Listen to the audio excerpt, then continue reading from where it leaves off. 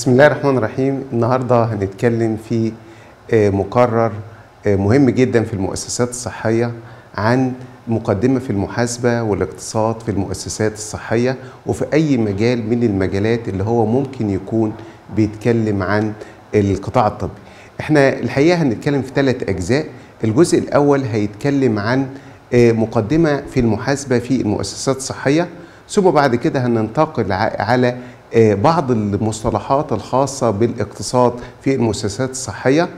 وبعد كده هناخد في الجزء الثالث آه، آه، تطبيقات للمحاسبة والاقتصاد في المؤسسات الصحية. إحنا هنتكلم على آه، مقدمة في المحاسبة والاقتصاد في المؤسسات الصحية من خلال ثلاث أجزاء. الجزء الأول بيعتمد على آه، وضع ال- المحاسبة في المؤسسات الصحية وده بيهدف الجزء ده إلى آه، إعطاء فكرة للدارس على آه، مفهوم المحاسبة آه، أهداف المحاسبة المفاهيم الأساسية في المحاسبة الدورة المحاسبية في المحاسبة بتتم إزاي أسلوب التسجيل المحاسبي بيتم إزاي ك أساس من أسس المحاسبة المالية. آه، في فروع للمحاسبة زي محاسبة التكاليف والمحاسبة الإدارية ومحاسبة ال- ال- المحاسبة الحكومية. دي برضو هنلقي النظر عليها بحيث نعطي للدارس أو للمشاهد مجموعة من ال ال الأركان والمقومات التي تتعلق بال بالمحاسبة كجزء افتتاحي لمجموعة المحاضرات اللي إحنا هنأتيها. الجزء الأول اللي إحنا هنتكلم فيه هو بعنوان مقدمة في المحاسبة عن المؤسسات الصحية. في هذا الجزء لو جينا شفنا آه، أول حاجة نتكلم فيها هي المبادئ العامة الحاكمة للمحاسبة في المؤسسات الصحية. آه، أول نقطة هنتكلم فيها يعني إيه محاسبة؟ المحاسبة هي عبارة عن عملية بنقوم, بنقوم من خلالها بتحديد وقياس وتوصيل المعلومات الاقتصادية ليتمكن المستفيدين من هذه المعلومات من اتخاذ قرار التصرف بحكمة في ظل رؤية واضحة. طيب لو جينا نسأل نفسنا سؤال مهم. طب مين اللي بيستفيد من المعلومات المحاسبية؟ هل هي إدارة المؤسسة بس سواء كانت مؤسسة صحية أو غير صحية؟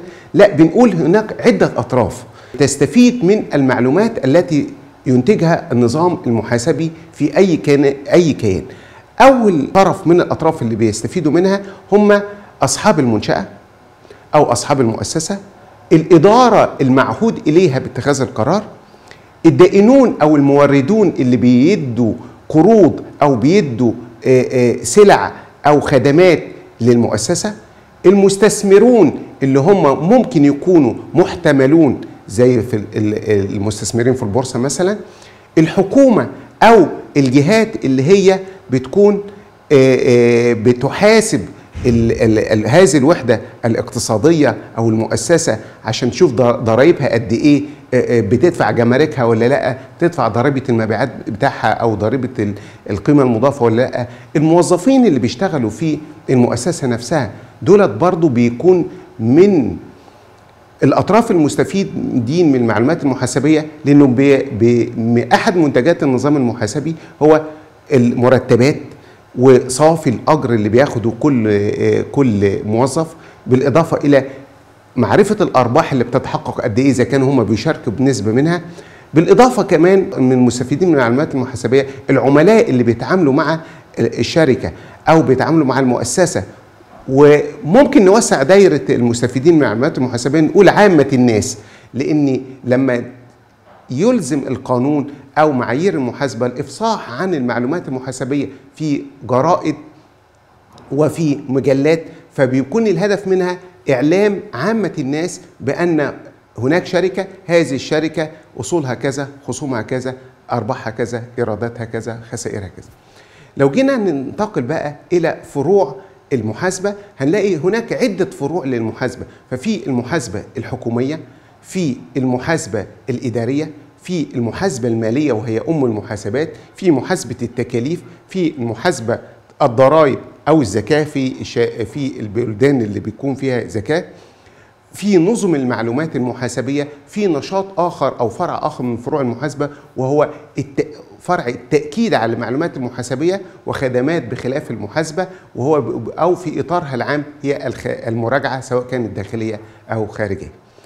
لو جينا للفرع الأول من فروع المحاسبة هو فرع المحاسبة المالية وده من الفروع الأساسية اللي بينشق عنها مجموعة من التطبيقات الجيدة جدا في ال- القياس وتوصيل المعلومات المحاسبية وهو فرع من فروع المحاسبة بيعني بتوثيق ومعالجة البيانات المالية وإيصالها للمستفيدين في شكل تقارير مالية تعد وفقا لمعايير هذه المعايير بتصدر من جهات معتمدة زي. مثلا جمعية المحاسبة الأمريكية في أمريكا الاتحاد الدولي للمحاسبين في مصر جمعية المحاسبة والمراجعة في بعض دول ال- الخليج برضو في هيئات بتصدر هذه المعايير اللي على أساسها بيتم عملية القياس وعملية توصيل المعلومات المحاسبية من خلال قائمتين أساسيتين وطبعا في قوائم تانية. أهم قائمتين هي قائمة المركز المالي وقائمة الدخل. طيب لو جينا للفرع الثاني هو فرع محاسبة التكاليف.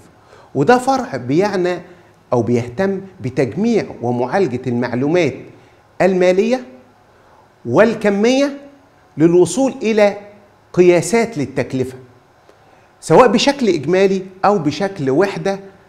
الغرض من محاسبة التكاليف هو ثلاث حاجات قياس التكلفة الرقابة على التكلفة توفير معلومات تحليلية عن التكلفة أو وحدة المنتج.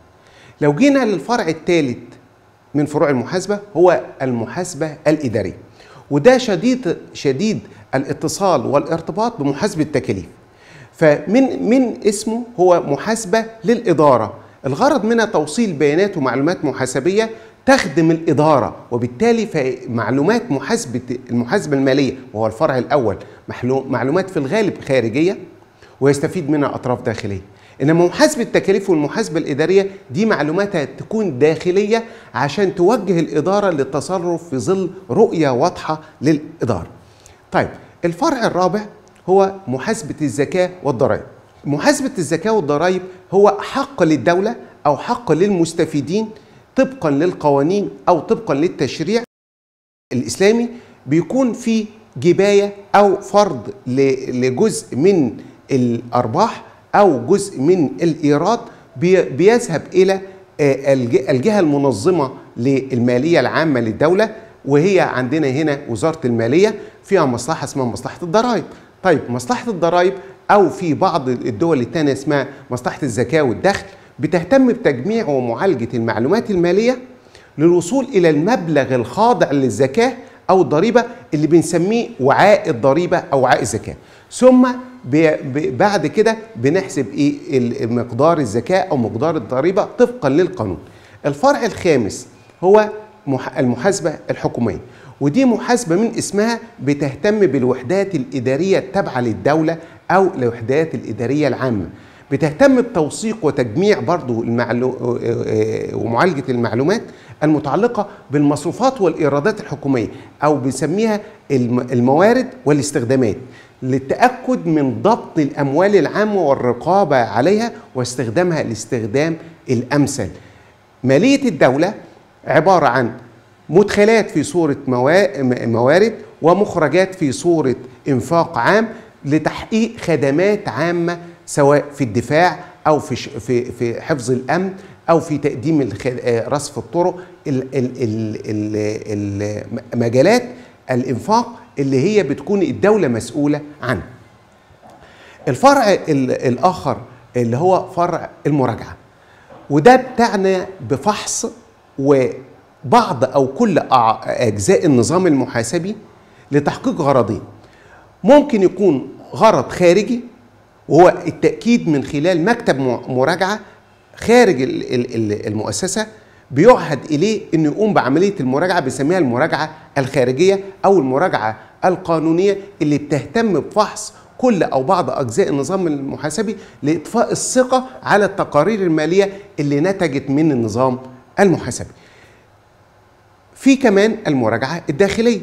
المراجعة الداخلية ده جزء لا يتجزأ من النظام المحاسبي. والغرض منها إنها بتفحص برضو كل أو بعض أجزاء النظام المحاسبي للتأكد من سلام من سلامة آه، أعمال الإدارة والنظام ال- ال- المحاسبي والإداري والرقابة الداخلية في هذه المؤسسة. وبالتالي فإن نشاط المراجعة الاثنين بيكملوا بعض. مراجعة داخلية مؤسسة و... وموضوعه داخل النظام المحاسبي ومراجعة خارجية هي للتأكيد على أن الإجراءات التي تتبعها الشركة حتى تصل إلى التقارير المالية هي إجراءات سليمة. وبالتالي فهما متكاملتين. طيب لو جينا انتقلنا بعد كده على فرع آخر مهم جدا هو نظم المعلومات المحاسبية. نظم المعلومات المحاسبية هي عبارة عن زي القلب بالظبط بالنسبة للجسم. كل كل نظام من الأنظمة اللي أنا قلت عليها دي بيبقى لها مدخلات ومخرجات. هذه المدخلات والمخرجات بيتم التكامل بينها وبين بعض تحت عنوان نظم للمعلومات المحاسبية. يبقى المحاسبة المالية محاسبة التكاليف المحاسبة الإدارية المراجعة ال- الزكاه والضرائب كل دولت بيشتغلوا مع بعض في إطار اسمه نظام نظم المعلومات المحاسبية اللي بتاع بتاعنا في الأساس إلى تصميم نظام للمحاسبة والإشراف على تنظيمه ثم استخدامه وفحصه ونقد النظم ال- القائمة لمعرفة مدى استجابتها لتحقيق أغراض النظام المحاسبي. طيب لو جينا ننتقل دلوقتي بعد ما اتكلمنا على فروع المحاسبة للدورة المحاسبية أو ال- العملية المحاسبية بتبدأ منين وبتنتهي فين؟ هي بتاخد مجموعة من من الإجراءات أو المراحل بتبدأ بإنه لازم يكون عندي حدث هذا الحدث بيتم تحديده أي قياسه ثم بعد كده بيتم توثيقه ثم بعد كده بيتم تسجيله أو تأييده في الدفاتر ثم ترحيله إلى مراحل آه، آه، أعلى من حيث التبويب ثم تخرج القوائم المالية اللي إحنا اتكلمنا عليها.